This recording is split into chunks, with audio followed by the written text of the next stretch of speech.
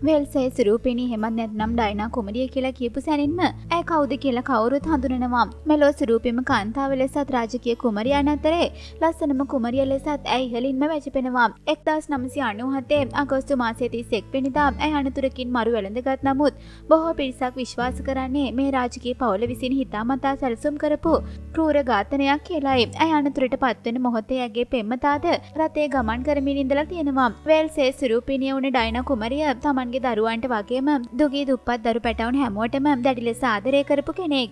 එනිසා මැගේ මරණය ලෝකේ මහත් කම්පාවට පත් කළ එකක් බවට පත් වනා මෙතෙක් ඉතිහාසේ වැඩිම පිරිසක් සහභාගි වුණ මළගෙදර හිමිකාරිය යයි.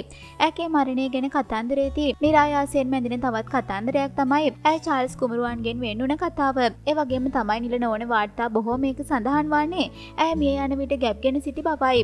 මේ හේතුව නිසා මෑව රජ පවුලේ උදවි අමු අමුවේ ඝාතනය කළ බව කරුණු කාරණා සඳහන් වෙලා තියෙනවා කෙසේ වෙතත් ඇගේ බියකරු මරණය ගැනත් ඇකි අතිශ විශේෂ පෞද්ගලික ජීවිතයේ ඇය විසින් හෙළි කළ දේවල් ගැනත් වරින් වර බ්‍රතාානය මාධ්‍ය සහ පුවත්පත් තොරතුරු ආර්තා කරනවා. ඇගේ පුතනුවන් වන මේගන් කුමරිය සහ විවාහ වෙලා ඉන්න හැරි කුමරු රජකයින් නික්ම යන්න කලින් පවසලා තිබුණේ තමන්ගේ අම්ම මෙන්ම බිරිඳවද විනාශ කළේ පැපරාසියන් හෙවත් පුවත්පත් මාධ්‍යකරුවන් පවයි.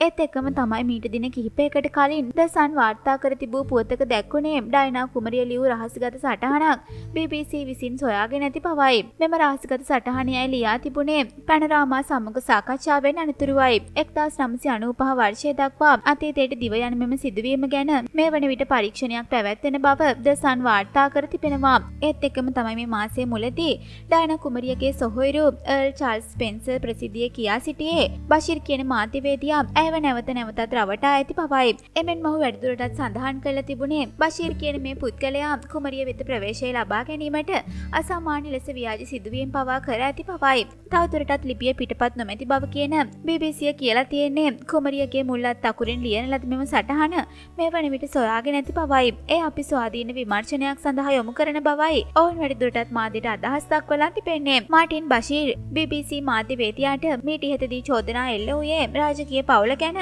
ඔහු විසින් කුමරියගේ හිතේ සැකයක් ඇති කළ පවයි. ඒ අයව සම්මග සාකච්ඡාව සඳහා පොළඹවා ගැනීමට බවද සඳහන් වෙලා තිබෙනවා. එම බොරු වාර්තානුව යමින් ඩයන කුමරිය තමන්ගේ ආරක්ෂකයින් පවා ප්‍රතික්ෂේප කළ බවත් මීට ඉහතදී විදෙස් මාධ්‍යන් වැඩදුරටත් වාර්තා කළ තිබුණා.